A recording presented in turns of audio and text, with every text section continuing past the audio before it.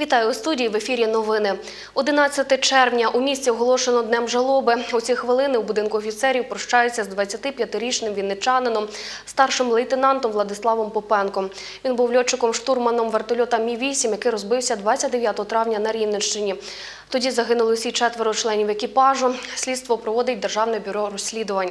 Серед імовірних причин аварії називають технічну несправність гелікоптера, неякісне пальне або ж погану підготовку до польоту.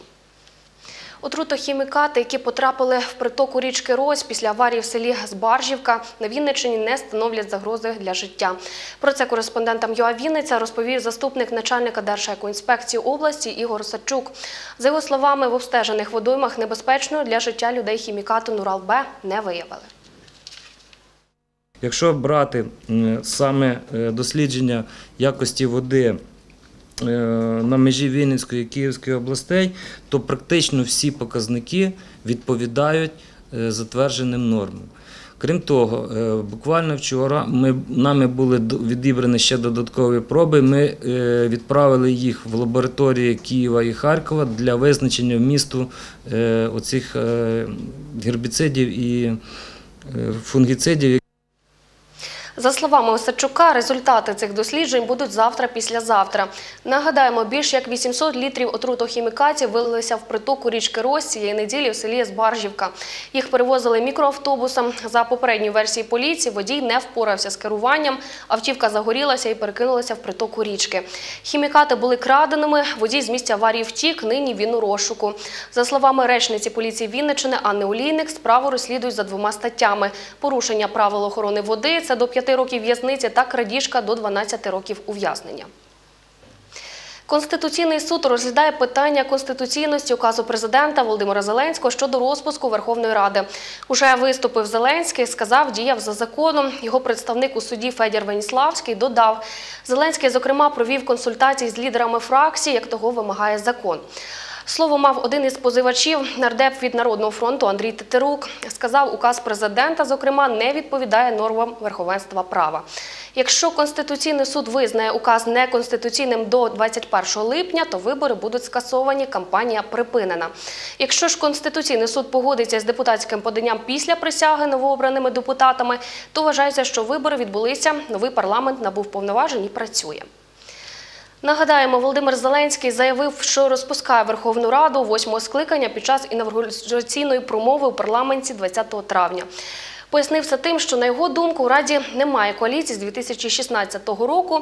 23 травня указ президента про дострокові вибори був оприлюднений в урядовому кур'єрі і набув чинності.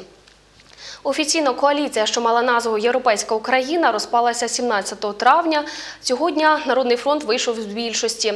Спікер Андрій Парубій оголосив про припинення діяльності коаліції. За законом після цього протягом місяця має бути сформована нова коаліція або відбутися перевибори.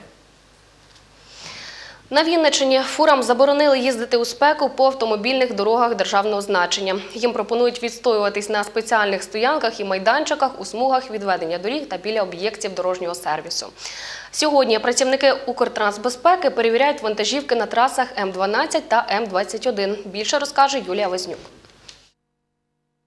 Температурі вище 28 градусів габаритно-ваговому транспорту заборонено їхати по дорогах. Щоправда, заборона стосується лише тих вантажівок, які мають масу більше 28 тонн та навантаження на вісь більше 7 тонн. Щоправда, є винятки. Якщо машина перевозить тварин або вибухонебезпечні речовини, або вантаж, який швидко псується.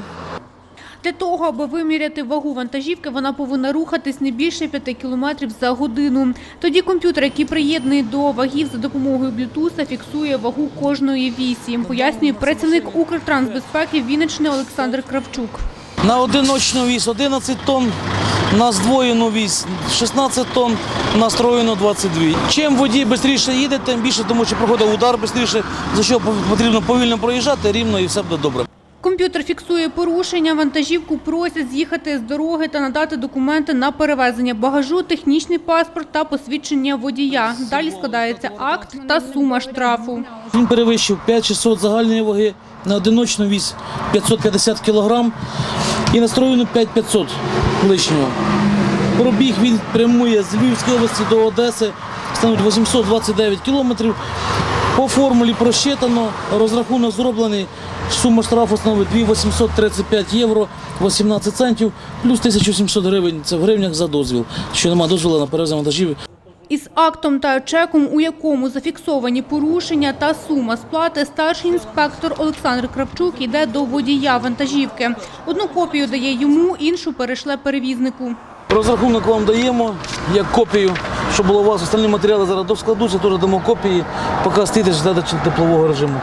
Спілкуватися із нашою знімальною групою водій відмовляється.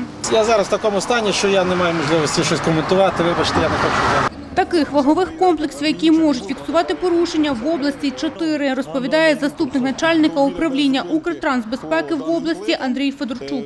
В Укртрансбезпеці, яка є по всій Україні, є 78 комплексів.